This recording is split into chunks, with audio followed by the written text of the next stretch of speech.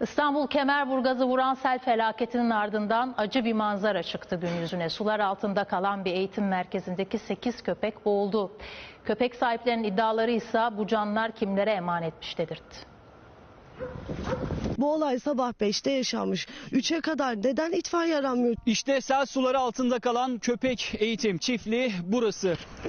Ama ruhsat yok şu anda değil mi? Hali hazırda ruhsat yok. Ruhsat yok. Sağanak sonucu taşan Kağıthane Deresi bir köpek eğitim merkezini sular altında bıraktı. Kahreden bu görüntüler de orada kaydedildi. Girdik bu kadar su içine. Buradan personelle 12 tane köpeği çıkardık iki tarafta yavru olan köpekleri. O dakikalarda haberi alan köpek sahipleri de olay yerine geldi. Acı tablo an be an kaydedildi. Şu anda benim bulunduğum bu noktada bile yaklaşık 2 metre seviyesinde sel suları vardı ve kurtarılan köpekler işte bu noktada itfaiyenin botuna bindirildi ve güvenli alana doğru taşındı. İlk incelemede 8 köpeğin boğularak öldüğü belirlendi. Hayatta kalanlar da çiftliğin çatısında kurtarılmayı bekledi. Esin bak köpek çatının üzerinde.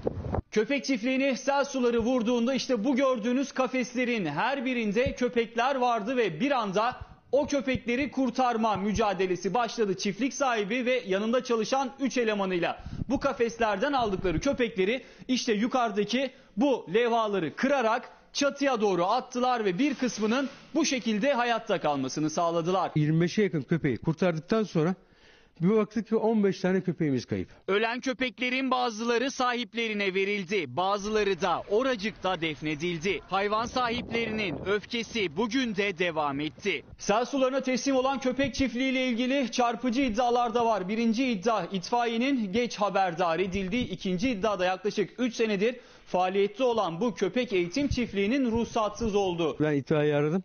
Zamanda müdahale edilmediğini söylüyor Esin Hanım. Ben zaten o anda zaten şoktayız biz. Çiftlik sahibi Metin İnanoğlu'nun ruhsat var mı sorusuna verdiği cevap öfkeyi ikiye katladı. Ama ruhsat yok şu anda değil mi? Hali hazırda ruhsat yok. Ruhsat yok.